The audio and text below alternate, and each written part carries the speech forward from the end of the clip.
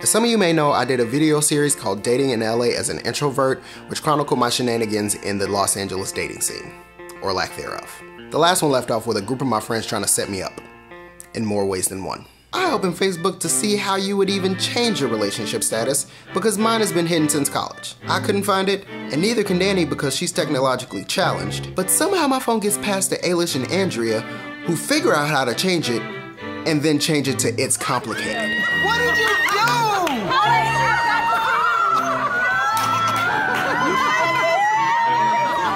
Can we all like it? Yes!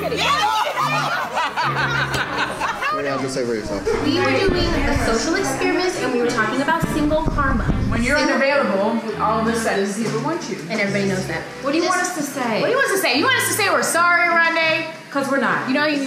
Oh, no. How can we set you up on a date? No. You don't make room for possibility. We are trying to support Make that you, change. and you are making that difficult. Stop blocking your blessings, man. How about this? Because I don't believe that this woman exists. Sure, have at it. Try it. I dare you. Well, the stars were on my side because I moved across the country before they even got a chance to do so. Damn, it feels good to be a gangster.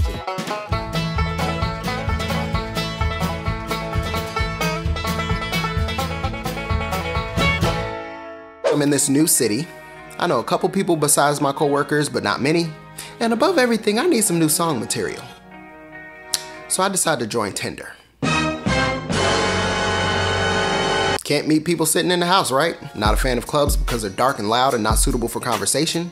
And I'm pretty awkward around people I don't know. If I'm around my friends, cooler than the other side of the pillow. By myself in a sea full of strangers, I'm leaning against the wall with my phone in my hand. As for the dating apps, so far there's been a lot of swiping left.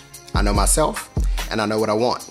And I'm selective, which to a certain extent is part self-preservation. I've seen friends and family members date and even marry people that they had no business being with. Some who knew it wouldn't work but did it anyway. Some who ignored the warnings of concerned loved ones because they just hating. And some who just wanted somebody to avoid being alone. As an introvert, I don't mind being alone. I like my me time.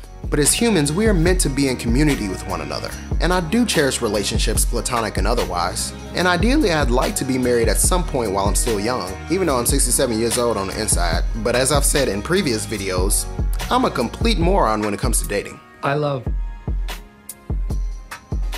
carpet. I love desk. Brick, are you just looking at things in the office and saying that you love them?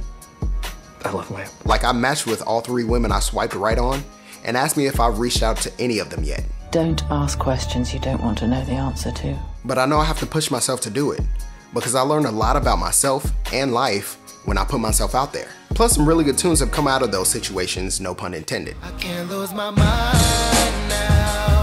I should be happy for you. So, if for nothing else, this will bode well for any future music that I write, and you guys will at least get one more video out of it. Famous last words of a fool. Famous last words of a fool.